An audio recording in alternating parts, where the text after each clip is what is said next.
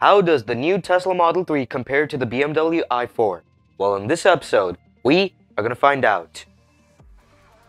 The standard i4 eDrive 35 starts at around $52,000, and that goes all the way up to $70,000 for the most expensive M50. The base Model 3 rear-wheel drive starts at around $39,000, and that goes all the way up to $46,000 for the most expensive all-wheel drive version.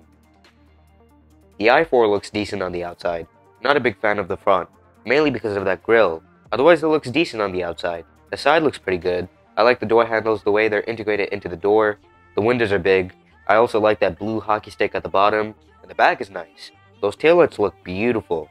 However, I don't know how I feel about those cutouts at the bottom of the bumper, normally where exhaust pipes would go on a gas car.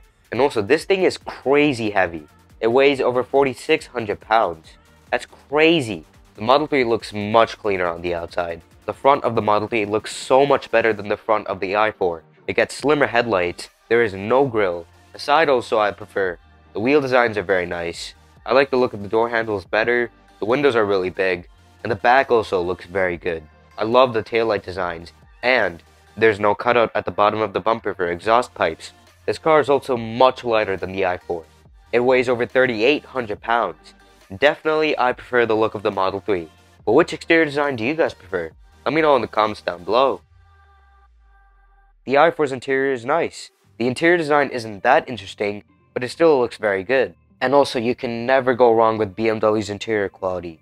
Their interiors always have very expensive feeling materials, and are very solidly put together. There's also ambient lighting, which looks very nice at night. The windows are also double layered to help improve the sound insulation. Now for the comfort features, it gets heated seats, a heated steering wheel, and front ventilated seats. However, some of them cost extra. That is not the case with the Model 3. It gets heated seats, a heated steering wheel, and now front ventilated seats unlike the previous version, all as standard. And I do prefer the interior design of the Model 3 much more. It's just a shame that unlike the i4, it doesn't get a driver's display. However, unlike the i4, it gets a rear display. There's also ambient lighting in this vehicle as well, and it looks very nice at night. Now the interior quality of the Model 3 has substantially improved over the previous one, but still it's difficult to beat BMW's build quality. Tesla is close, and they are constantly improving it, but still the BMW does have slightly better interior quality. But the design of the Tesla's interior is much cleaner, and looks more futuristic, and all of the windows are double layered to help improve the sound insulation. Overall, both interiors are very nice. The Tesla's interior looks very cool and has a futuristic feel to it, and the BMW's interior is very high quality.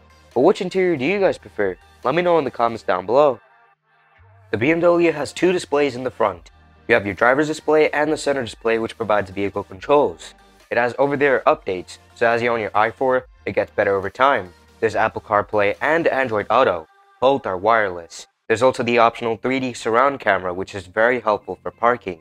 There's also the optional heads-up display, which makes it super easy to view your speedometer since you don't have to take your eyes off the road. And then there's that really cool feature, the augmented reality for navigation. How it works is when you set the navigation, it will turn on the front camera and display arrows pointing towards the direction you will have to go. That way you never make a wrong turn. It's a pretty high-tech car. So is the Model 3. It also gets two displays as standard. However, in the front, you have your center display, and in the back, you have a smaller display which provides climate controls and entertainment for your passengers. There's also over-the-air updates in this car, which Tesla first introduced, so as you own your Model 3, it gets better over time. It doesn't have Apple CarPlay nor Android Auto, but you don't need it considering how good the system is in the Tesla. It already has those vital applications that you need every day, such as Google Maps, web browser, Spotify, Apple Music, all those kind of applications. You can also pair your phone with the vehicle, allowing you to use it as the key, like with the BMW. There's also a wide range of games and videos on these beautiful displays. It also has a 360 degree view, which is very helpful for parking, and it has way more cool features. There's pin to drive, so when you enable this feature, you'll have to create a passcode that you will be entering before driving the vehicle. That way the Model 3 never gets stolen. You can also set a passcode for the glove box, rather than those traditional keys. There's also dog mode, so when you leave your pet inside, this feature will keep the climate on and display a message, letting people outside know the pet inside is safe. And you can view the interior camera through the Tesla app to make sure your pet is doing well. There's also Sentry mode, which uses the exterior cameras for the self-driving features as security cameras, which constantly records around the vehicle for suspicious activity. And if it captures something, it will save that into its built-in dashcam which comes as standard. And for major threats, it will trigger the alarm system and send a notification to your phone. And then when you get back inside, you can view those clips on the center display, and also you can view those cameras of the Tesla app. It's a super high-tech car. Both of these vehicles are, but the Tesla does have the edge. In the trunk of the Model 3, you have up to 21 cubic foot of space, and there's an additional 3.1 cubic foot of space in the frunk.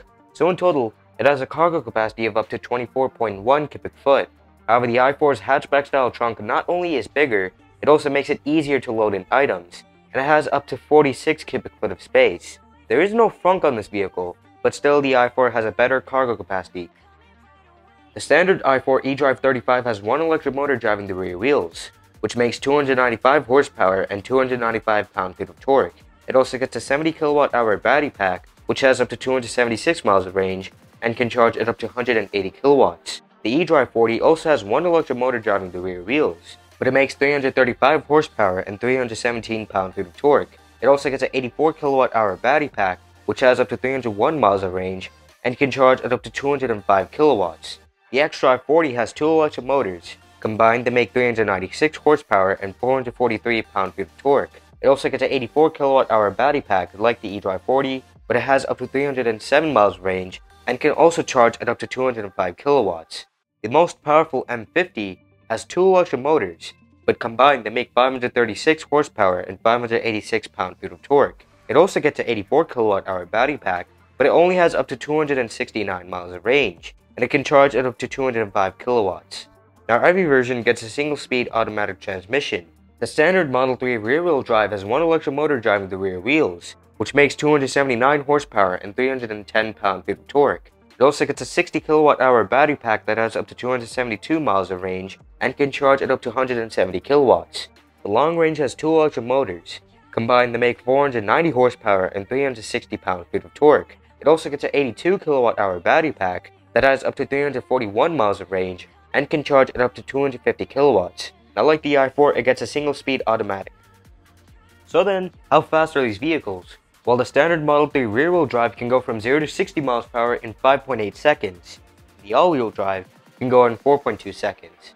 The standard i4 eDrive 35 can also go from 0 to 60 miles per hour in 5.8 seconds, just like the Model 3 rear-wheel drive. The eDrive 40 can go in 5.4 seconds, the xDrive 40 can go in 4.9 seconds, and the M50 can go in 3.7 seconds. Overall, the most powerful version of the i4 is slightly faster than the current most powerful version of the Model 3. However, Tesla is soon going to reveal the Model 3 performance. Since the previous Model 3 performance was faster than the i4 M50, the new Model 3 performance is going to be much faster.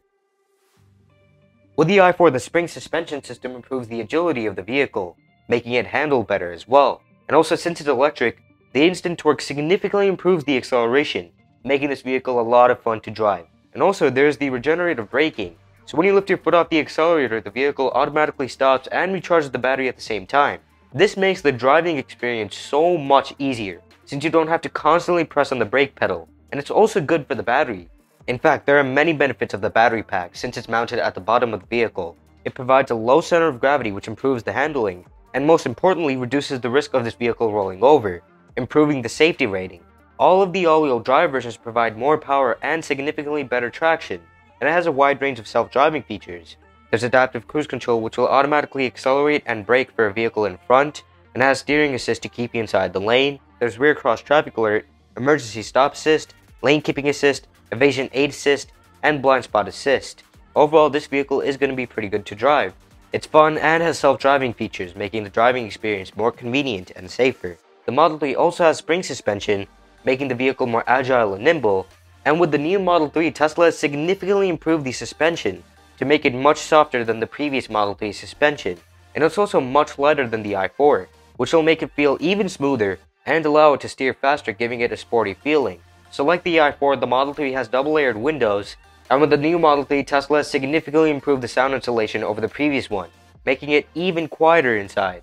And also since this vehicle is also electric, there's that instant torque which significantly improves the acceleration, making the driving experience so much more enjoyable. There's the regenerative braking also, which makes the driving experience significantly easier. Just lift your foot off the accelerator and the vehicle will automatically stop, and recharge the battery at the same time improving the efficiency. It also has a low center of gravity thanks to the battery pack at the bottom, so that improves the handling and reduces the risk of this vehicle rolling over. and has way more self-driving features than the i4. It gets autopilot as standard, which has adaptive cruise control to automatically brake and accelerate, and has auto steer to keep you inside the lane, and also you can pay extra for features such as auto lane change, which will allow the vehicle to change lanes on its own, navigate on autopilot, which will allow the autopilot system to use the navigation to drive you in the direction based on the route, and you can pay extra for the full self-driving package, which will allow the vehicle to drive completely by itself. You still have to be seated in the driver's seat and monitor the vehicle constantly, but it's very advanced. It also has automatic emergency braking, lane departure avoidance, blind spot warning, and obstacle-aware acceleration, which reduces motor torque when close to obstacles while parking, and may apply brakes if you get too close to an object. Overall, it's also going to be a very good car to drive. It's comfortable, it's enjoyable, and has a lot of self-driving features.